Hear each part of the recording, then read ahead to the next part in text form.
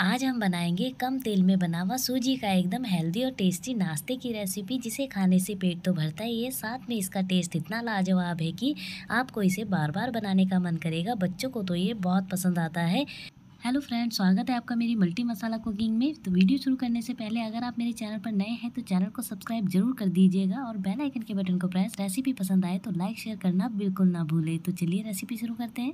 सबसे पहले हम यहाँ पर एक बाउल ले लेंगे और एक कप लिया मैंने यहाँ पर रवा या सूजी। सूजी आप यहाँ पर कैसी भी ले सकते हैं, मोटी, बारीक जैसी भी आपके पास हो। तो मैंने यहाँ पर जिससे हलवा बनाते हैं वही वाली सूजी ली है। अब हम यहाँ पर इसी कप से नाप के डाल देंगे आधा कप दही। एक कप सूजी लिए तो आधा कप दही डालेंगे। तो दही आप यहाँ पर खट्टा हो या फिर खट्टा ना हो, कैसी भी दही का यूज़ कर सकते हैं। तो आधा चम्मच डाल देंगे नमक। तो आप यहाँ पर स्वाद के अनुसार डालिएगा। एक चम्मच डाल देंगे कुटी हुई लाल मिर्च, चिली फ्लेक्स। अब डाल देंगे आधा चम्मच चाट मसाला। इसकी जगह आप काली मिर्ची पाउडर या फिर आमचूर पाउडर भी डाल सकते हैं। अब हम यहाँ पर थोड़ा थोड़ा पानी डालते हुए इसका एक घोल तैयार कर लेंगे। यहाँ पर हमने ज़्यादा मसाले नहीं डालने हैं, बस इतने ही डालने हैं। इस नाश्ते को आप बहुत ही कम मसालों में बनाकर तैयार करेंगे और ये इतना टेस्टी लगता है खाने में कि आपको खुद ही यकीन नहीं होगा कि आपने इसमें मसाले भी कुछ ज़्यादा नहीं डाले, तब भी इसका टेस्ट इतना लाजवाब है। तो ये देखिए, हमने इसका खूब बढ़िया से घोल बना लिया है। तो मैंने यहाँ पर एक कप सूजी लिया था तो एक कप पानी लगा है। तो इसमें कुछ वेजिटेबल्स ऐड कर देंगे। मैंने लिया गाजर, बीन्स, शिमला मिर्च। अब डाल देंगे यहाँ पर प्याज, हरा धनिया तो आप यहाँ पर वेजिटेबल्स जो भी आपको पसंद हो, सब्ज़ियाँ, वो यहाँ पर ऐड कर सकते हैं। तो सब्जियों को सूजी में खूब बढ़िया से मिला लेंगे।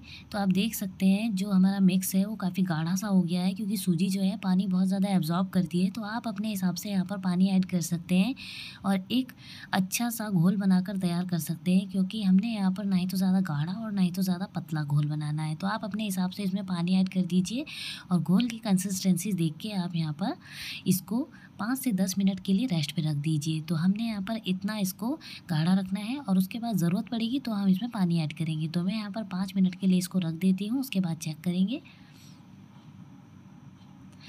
तो चलिए चेक कर लेते हैं।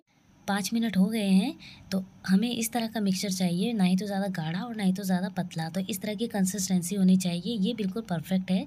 तो अब हम यहाँ पर इसमें थोड़ा सा डाल देंगे इनो। तो मैं आधा चम्मच के करीबन इनो डाल दूँगी और एक से दो चम्मच के करीबन हम इस पर पानी डाल देंगे ताकि इनो अच्छे से एक्टिवेट हो जाए और बढ़िया से जो हमारा मिक्स है ना फ्लफ़ी हो जाए।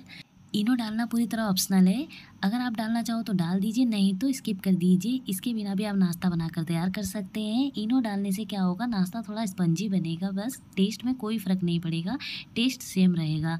तो अब हम यहाँ पर देरी नहीं करेंगे। इनो डालने के बाद तुरंत नाश्ता बना लेंगे। तो मैंने यहाँ पर गैस पर तवा रखा, गैस की फ्लेम को लो रखा। तो हम यहाँ पर दो चम्मच तेल डाल देंगे और तेल को बढ़िया से हम स्प्रेड कर देंगे। तो तेल को तवे पे अच्छे से फैलाने के बाद हम यहाँ पर गैस की फ्लेम को लो रखेंगे और तेल हल्का सा जब गर्म हो जाए ना अच्छे से तो हम यहाँ पर मिक्स को लेंगे और तवे के बीचों बीच में डालेंगे और अच्छे से हम इसका एक मोटा सा जैसे चीला बनाते हैं ना, इस टाइप में इसका बना लेंगे। ज़्यादा पतला नहीं बनाएँगे, बस मोटा ही रखेंगे। तो चीला बनाने के बाद अब हम यहाँ पर क्या करेंगे, इसको ना ढक देंगे। जब ये अच्छे से सेट होने लगेगा ना, हल्का सा जैसे ही सेट होने लगे, तब हम इसको चेक कर लेंगे। तो ये देखिए, एक मिनट हो गया है इसको पकते हुए तो हम यहाँ पर स्पैचुला की सहायता से इसको गोल शेप दे देंगे। तो ये हमने ना तुरंत नहीं करना है, जब इसको पकते हुए एक मिनट हो जाए ना, और ये अच्छे से सेट हो जाए, तभी हम यहाँ पर इसको गोल शेप देंगे। तो मैंने यहाँ पर इसको बढ़िया से गोल शेप दे दी है। तो अभी हम इसको थोड़ा सा ड्राई होने तक इसको और पका लेंगे। जब ये ऊपर से ड्राई होने लगेगा, तब हम यहाँ पर इसको दूसरी साइड से पकाएँगे। तो ये देखिए, ये अच्छे से ड्राई हो गया है और इसका कलर भी चेंज हो गया है। तो अब हम यहाँ पर ना पहले इसको चेक कर लेंगे। अगर ये पेन से अच्छे से छूट पा रहा है, तभी हम यहाँ पर इसको पलटेंगे। तो मैं यहाँ पर चेक कर लेती हूँ।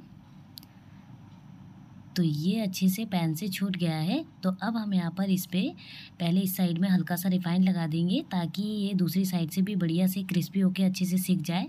तो मैं यहाँ पर एक चम्मच रिफाइंड ऑयल लूँगी और इस पर खूब बढ़िया से लगा दूँगी और उसके बाद हम यहाँ पर इसको पलट देंगे। तो मैं यहाँ पर इसको बहुत सावधानी से पलटना है, हमने आई टूटे ना तो हम यहाँ पर स्पैचुला से इस तरह से लेंगे और ऊपर से भी हम एक स्पैचुला लेंगे और इस तरह से हम इसको पलट लेंगे। और पलटने के बाद हम यहाँ पर इसको लो फ्लेम पर इस तरफ़ से भी क्रिस्पी होने तक सीखने देंगे तो मैं यहाँ पर इसको ढक दूँगी। तो आप चाहे तो खुला भी पका सकते हैं, पर लेकिन मैंने यहाँ पर ढक के इसलिए पकाया ताकि जो भी वेजिटेबल्स वगैरह है इसमें खूब बढ़िया से पक जाए। तो वेजिटेबल्स जो हमारी खूब अच्छे से पक गई हैं और जो हमने ये नाश्ता बनाया, ये भी आप बहुत बढ़िया से क्रिस्पी हो गया है और कलर भी क्या बढ़िया आया है। तो अब हम यहाँ पर इसको एक प्लेट में निकाल लेंगे। तो नाश्ता हमारा बनकर तैयार है तो इसी तरह से हम दूसरा भी बनाकर तैयार कर लेंगे। तो मैं यहाँ पर इसको प्लेट में निकाल लेती हूँ।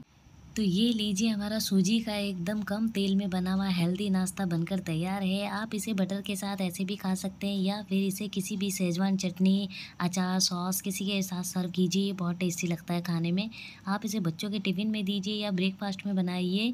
तो उम्मीद करती हूँ आपको मेरी आज की रेसिपी ज़रूर पसंद आई होगी। रेसिपी पसंद आई हो तो रेसिपी को ज़्यादा से ज़्यादा लाइक शेयर करना बिल्कुल ना भूलें। और नई नई रेसिपीज़ देखने के लिए आप बेल आइकन के बटन को ऑल पे प्रेस कर दीजिएगा। उससे आपको मेरी सारी रेसिपीज़ की नोटिफिकेशन मिलती रहेंगी। तो मैं मिलती हूँ अपनी अगली एक और नई रेसिपी में। तब तक के लिए टेक केयर बाय बाय